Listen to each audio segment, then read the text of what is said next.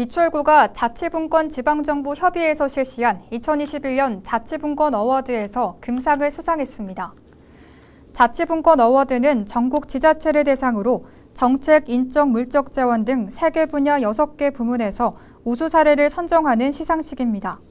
미추홀구는 도시를 잇다 걷고 싶은 건강도시 미추홀구라는 사업을 주제로 미추홀구 걷고 싶은 거리와 수인선 유휴부지 도시숲길, 그리고 수봉 별마루 조성 사업을 대표 사례로 선정해 도시 브랜드 이미지를 구축한 것이 높은 평가를 받았습니다.